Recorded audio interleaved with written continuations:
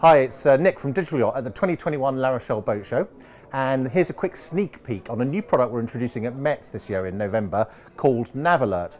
So NavAlert is the world's first Wi-Fi enabled NMEA 2000 alarm and monitoring solution. It connects direct to the boat's NMEA 2000 network and takes power from that as well.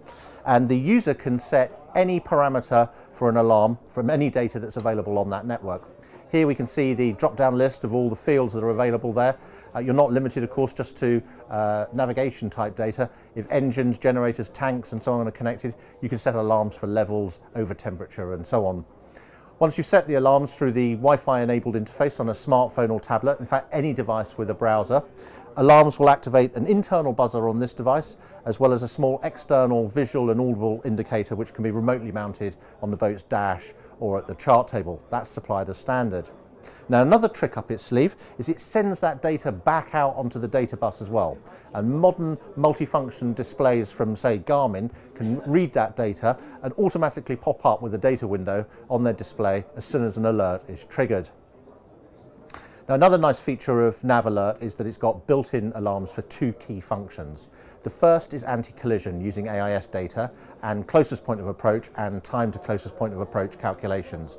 As you can see here, there's a really nice visual interface which is accessed through the uh, Wi-Fi link to your smartphone or tablet uh, where the user can uh, set the range at which they want activation and so on.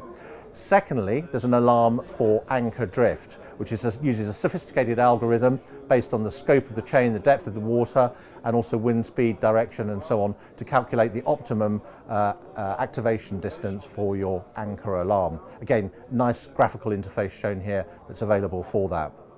Now, NavAlert can also connect to a new device we're introducing in January 2022 called NavChat, and you've guessed it, NavChat gives you spoken English or French or German local language commands of the alert situation. So no more remembering what a beep beep beep is, you get clear spoken instructions to, as to exactly what the alert is, caution, shallow water, etc. So another great accessory coming in 2022.